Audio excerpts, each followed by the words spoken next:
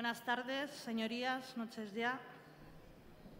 Como han dicho las senadoras que me han precedido, eh, hablamos hoy de un problema de salud pública, la obesidad, que es una eh, de las consecuencias eh, directas de los cambios, tanto en la estructura productiva gracias, de las sociedades avanzadas como de los, ámbitos, como de los hábitos alimentarios y culturales, y con alta prevalencia en la población. En el Estado español, según los últimos estudios, como el que se publicó recientemente en la, revista científica Lancet, el 25% de la población sufriría obesidad y más del 50% sobrepeso. Unos datos que además no dejan de crecer y que, según diversos expertos, el ritmo es tan acelerado como el de los Estados Unidos de América. En este sentido, nos dice también la SECO, la Sociedad Española de Cirugía de la Obesidad Mórbida y de las Enfermedades Metabólicas, que la prevención en España no ha sido suficiente para frenar los casos de obesidad. Y es que cuando utilizamos la lupa para analizar con más detenimiento y precisión las causas de la obesidad, nos encontramos con lo que sistemáticamente observamos cada vez que hablamos de salud pública, que son los determinantes de salud y principalmente los factores socioeconómicos y de clase como causa de los problemas más graves y urgentes para nuestra salud y especialmente en lo que afecta cuando hablamos de salud infantil. Miren, Save the Children publicó un informe en el 2015 que se titula Desheredados, desigualdad infantil, igualdad de oportunidades y políticas públicas en España, donde exponen y denuncian cómo son los niños y las niñas más pobres los que más sufren obesidad. Y otros expertos también afirman que la obesidad infantil afecta tres veces más a familias con menor nivel de estudios, que además están vinculadas a familias con, menos poder adquisitivo. La obesidad es, por lo tanto, en primera instancia, un problema de clase y de riqueza o de pobreza.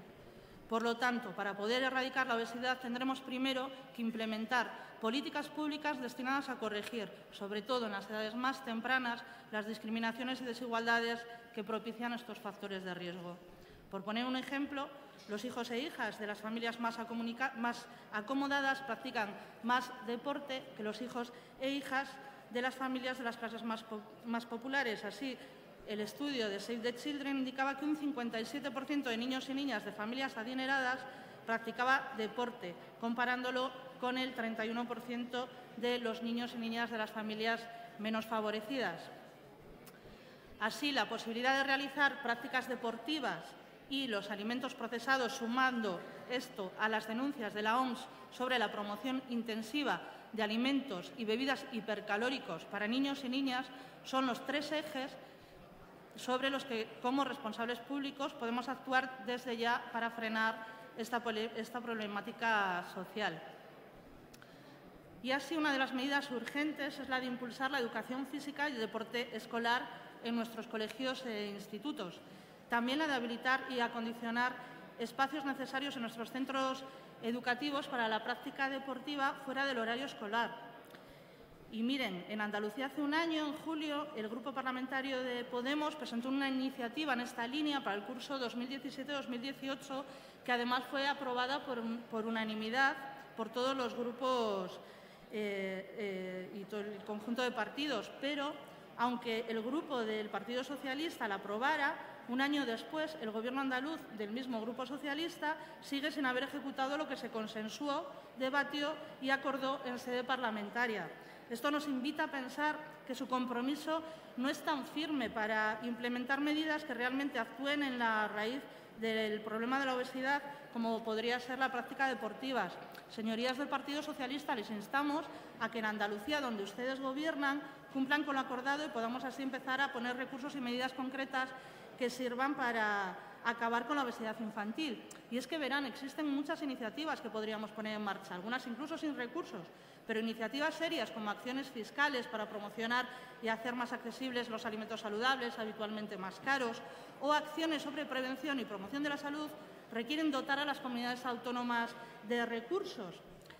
Y sin recursos, todo esto se quedan meras declaraciones de intenciones. Y tengo que recordarles que con un Gobierno de clara vocación recortadora en materia social y aprobando leyes de contención y techo de gasto, pues tendremos los presupuestos que no permitirán de nuevo llevar a cabo este tipo de, de políticas sociales.